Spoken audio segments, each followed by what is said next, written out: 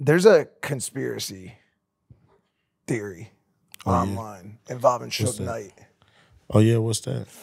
So Oh fuck. so obviously like Suge and, and Eric were were beefing, right? As, Yeah. as you as you said, with Eazy Eazy and Suge. And um Eazy obviously ended up passing away as a result of complications of, of AIDS. AIDS virus, right? And uh there's this there was this interview done with Suge.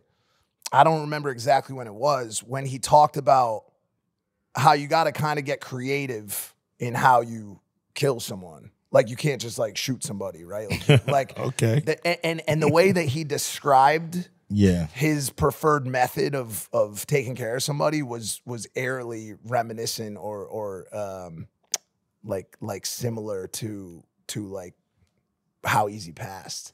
And by the way, this Yeah. keep in mind this is not my fucking conspiracy, bro. Like this is an online conspiracy that I've just read about, and I wanted to ask you about like your thoughts on that. Are you saying Suge Knight gave Eazy? Potential. They're saying that the, the conspiracy says that Suge Knight could have potentially been the person that gave Eazy AIDS through a How through an how int- would he do through that? a, through an intravenous needle. And and and Eazy would never tell anybody that. No, maybe Eazy didn't This- even know.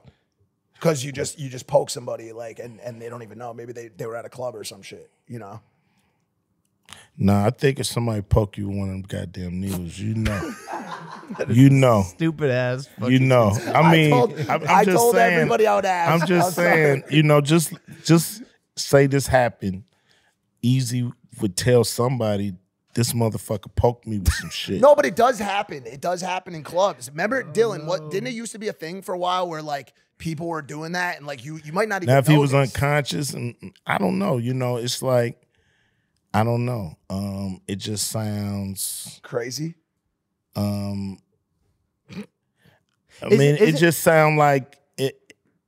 If if Eazy would have known he got poked, he would have said something. Um, if he didn't know he got poked, then the conspiracy lives on. Would would you put it past? I don't Suge? put shit past nobody. Hey there, if you like the clip, make sure to subscribe or check out this recommended clip to my right.